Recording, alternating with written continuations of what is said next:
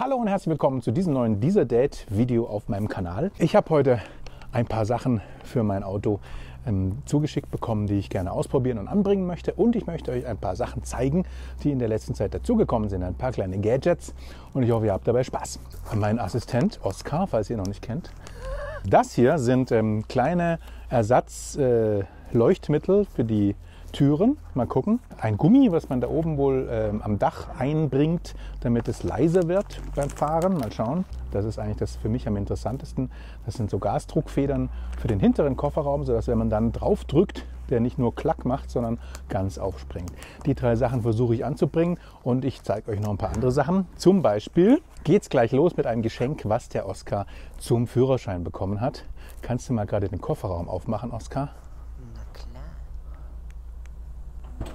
Ah. Wie ihr seht, hat der Oscar zum Führerschein diesen wunderbaren Schlüssel bekommen in Form eines Model 3. Was kann man mit dem machen? Eigentlich kann man damit relativ die gleichen Sachen machen wie mit der App, aber zum Beispiel kann man den Frank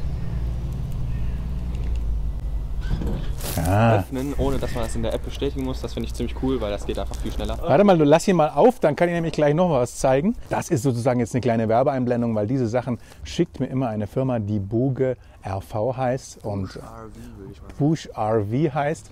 Und ähm, ja, herzlichen Dank dafür. Es ist kein Werbevideo, weil ich kann damit machen, was ich will. Ich benutze manche Sachen, manche benutze ich auch nicht, manche finde ich sinnvoll, manche nicht. Jedenfalls zeige ich euch gerne, was ich hier bekommen habe. Wenn hier vorne nämlich schon mal auf ist, dann befindet sich unter dieser Verkleidung ja hier so ein Lüftungsschlitz und das ähm, ist ein Zubehörteil, ein recht günstiges, womit man praktisch verhindern kann, dass falls hier ein Blatt durchkommt, wie man sieht, Ah, jetzt ist es gerade, glaube ich, reingefallen. Man hat nämlich hier gerade gesehen, dass tatsächlich hier ein Blatt war.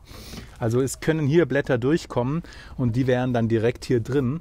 Und deswegen gibt es hier dieses Gitter, um nochmal zu verhindern, dass in die Lüftung Blätter reinkommen. Abgesehen davon, dass man hier die ganzen Sachen aufmachen kann, man kann natürlich auch das Auto auf- und zusperren, aber äh, der, die neue Version von dem Model 3 Key hat auch Keyless Go, das heißt, man muss den nicht irgendwie rausholen und entsperren oder so, sondern genau wie beim Handy das einfach in der Tasche gesteckt äh, lassen und dann einfach losfahren. Ja, und das finde ich sehr praktisch und da werde ich mir den wahrscheinlich auch ab und zu mal ausleihen, weil ehrlich gesagt mit meiner App funktioniert das nicht immer so gut. Ich muss die eigentlich immer, muss ich immer das Handy rausholen und irgendwie entsperren, bis das Auto dann mal endlich aufgeht. Und da ist dieser Schlüssel sicherlich nicht blöd. Allerdings ist er auch nicht ganz günstig, wenn ich das mal an dieser Stelle sagen darf.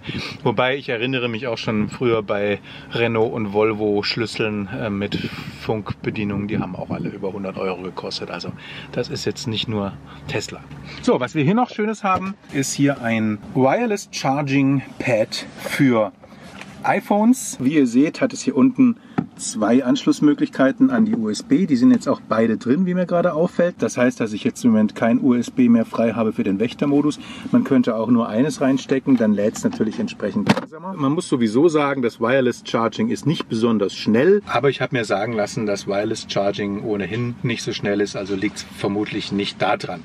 Ich packe euch gerne auch da einen Link in die Beschreibung zu diesem Wireless Charging. Aha, so, jetzt habe ich endlich gefunden, wo diese LEDs hinterher hingehören. Da haben wir jetzt hier also ein kleines Set mit diesem Spatel und vier solchen Leuchtmitteln. Ich bin nun handwerklich nicht sonderlich begabt.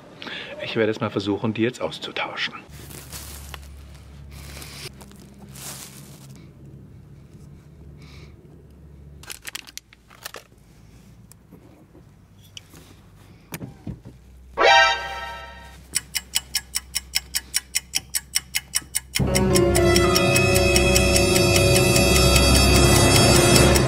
Also das war jetzt auf jeden Fall mal ein Fail.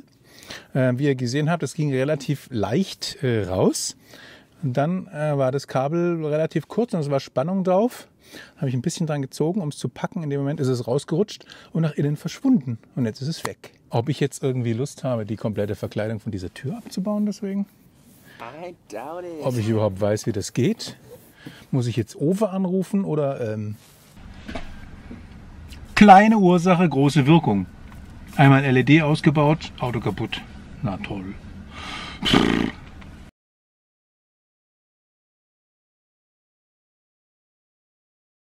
Gut, versuchen wir das hier also auch. Und wissen ja jetzt, Bescheid, dass wir noch vorsichtiger sein müssen. Ich habe eigentlich auch nichts falsch gemacht, scheint mir. So, und dieses Mal habe ich es noch. Das da? Ja. Ja. Ja, beim zweiten Mal, wie heißt das schön bei Hans Albers? Beim ersten Mal, da tut's noch weh. Ah. Und hier hat's gleich geklappt und ist hell. Zwei helle LEDs sind drin. Hat ungefähr eine Stunde länger gedauert, als ich dachte. Schauen wir uns heute Abend nochmal an, ähm, wie jetzt die Lichtverhältnisse rechts und links sind. Ob das was bringt. So, was ich leider gerade nicht gefilmt habe, was aber auch sehr einfach war, wir haben hier gerade noch dieses Gummi angebracht, was ähm, etwas Lautstärke nehmen soll von den Fahrtgeräuschen. Ihr seht das hier vielleicht. Das ist ein praktisch ein großer Gummiring, leicht dehnbar, den man hier ähm, einziehen kann an diesen vorderen Bereich. Das hatten wir, glaube ich, in drei Minuten erledigt, oder? Und ob es was bringt oder ob es wieder abfällt und dann dieser Mama auf der Fahrt in, nach Bayern äh, um die Ohren fliegt, das werden wir dann bald wissen. So, die große Frage ist jetzt noch, trauen wir uns das mit den Gasdruckfedern da hinten? Da seht ihr ja diese Gasdruckfedern im Original und dann gibt es eben hier diese Ersatzfedern. Bei der Gelegenheit noch ein kleiner Blick auf diese Kofferraummatte. Die hat mir auch Bush RV oder Buge RV zugeschickt. Vielen Dank dafür. Ja, dafür, dass ich die letzten zwei Tage mit Fieber im Bett lag und heute gerade mal wieder rekonvaleszent bin, ist dieser Tag mit drei Grad Kälte und diese Operation vielleicht nicht optimal gewesen. Drückt mir mal die Daumen. Ich trinke jetzt gleich mal noch einen Tee, dass das alles gut ausgeht. Okay, Bob der Baumeister, was sagst du? Jo, wir schaffen das. In den Tutorials sieht es wieder sehr einfach aus. Wir sind vorgewarnt. Das muss nichts bedeuten, aber wir versuchen es. Ich habe jetzt hier also diese neuen Dinger. Einen kleinen und einen großen Flachschraubenzieher. Hier heben wir diesen Ring an. Wenn er angehoben ist, kann man hier aha, also Oh. Hallo. wiegt es schwer auf deinem Kopf. Ja. Alright. Und dann hier unten, hier genauso. Wenn der Ring gelöst ist, lässt sich das rausholen. Gut. Und der Einbau ging vorhin durch hohe Gewalt. So. So. Hm. Also erstens, es hält. Aha. Und da ist jetzt ein bisschen gegen. Hier geht es richtig schwer. Und jetzt kannst du mal mit deinem schönen Schlüssel vielleicht öffnen. Achso. Wow. Amazing. Zauberei. So, da haben wir jetzt noch eine ganze Menge geschafft und doch auch das eine oder andere Erfolgserlebnis. Ob das sich hier bewährt, werden wir sehen. Die Lichter haben funktioniert. Die Heckklappe haben wir dann auch hingekriegt. Das Wireless Charging, die Gepäckraummatte und das Lüftungsgitter habe ich euch gezeigt.